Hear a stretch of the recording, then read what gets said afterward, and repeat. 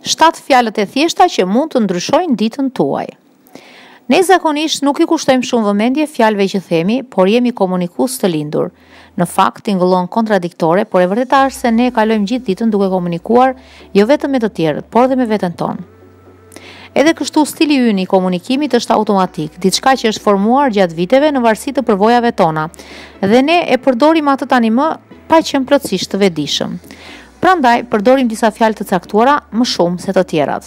Për shembull, një studim i kryer nga Universiteti i Kolorados në SHBA zbuloi se njerëzit me prirje për neuroticizëm përdorin një numër të madh fjalësh të lidhura me emocione negative. Një tjetër studim i kryer nga Universiteti i Amsterdamit në Hollandë gjeti se personat e hapur preferojnë terma më abstrakte, përshkrues, ndërsa njerëzit e mbyllur zgjidhnin mbiemra më specifikë. Pastaj nuk është e parëndësishme që periodikisht përfitojmë nga fjalët që përdorim, sidomos kur kemi parasysh se ky dialog vetëm që ndikon tek imazhi që të tjerët kanë mbi ne, por mund të ndikojë dhe tek vetëvlerësimi ynë. Prandaj unë do të propozoj disa fjalë që duhet t'i përdorim më shpesh, por me vetëdije dhe jo si robot. Fjalë të thjeshta që nënkuptojnë ndryshime të mëdha në jetën tonë. Sepse, një fjalë e thjeshtë, por me fuqi të madhe. Në fakt, një studim i kryer nga Universiteti i Harvardit në SHBA e përshkroi atë si fjalën më bindëse në botë. Në këtë eksperiment u vu re se kur njerëzit kërkonin një nder dhe shtonin frazën sepse, gjasat që tjetri të pranonte kërkesën rriteshin me 30 për qind. Faleminderit. Këtu nuk bëhet fjalë të falënderohet si një formë detyrimi apo që kjo fjalë të përsëritet për inerci, thjesht për shkak të një edukate të mirë, por të falenderohet realisht, nga thellësia e zemrës.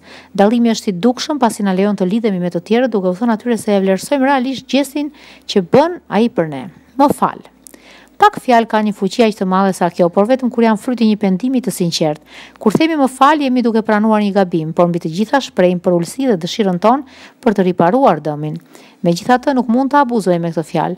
Një studim i kryer në Universitetin e Rotterdamit në Holandë zbuloi se njerëzit priren të mbivlerësojnë efektin e një falje dhe se këto të fundit janë të efektshme vetëm kur janë të sinqerta dhe shpjegojnë rrethanat tona, por pa u shndërruar në justifikim. Filloje. Bota është bërë nga qëllime të mira, por në realitet jeta ndryshon kur zbresim me këmbë në tokë. dhe i hyjmë punës. Fatkeqësisht, vazhdojmë të shtyjmë ndryshimin në një kohë më të përshtatshme. Megjithatë, kur jeni të sigurt mbi një qëllim dhe pasi i keni vënë vetes një të tillë, thjesht duhet të filloni nga puna ndërsa do të zbuloni rrugës si do të vazhdoni më tej. Mos harroni se udhëtimi më i gjatë fillon me hedhjen e hapit të parë.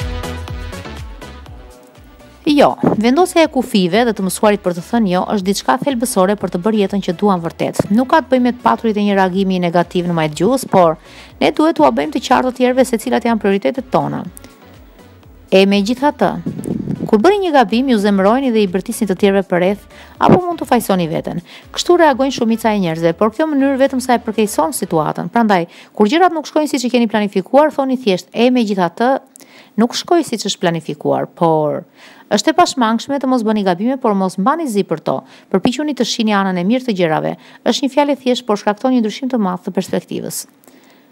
Merr frymë. Çdo herë që jeni gati të shpërtheni, kur jeni të zemëruar apo kur stresi arrin në nivelet maksimale, thjesht merrni frymë. Në të gjitha rastet, sipas nevojës, frymëmarrja na ndihmon të rikthejmë në gjendjen e mëparshme shumë funksione metabolike që ndryshojnë kur jemi të zemëruar apo të stresuar. si tensioni i gjakut, numri i rrahjeve të zemrës.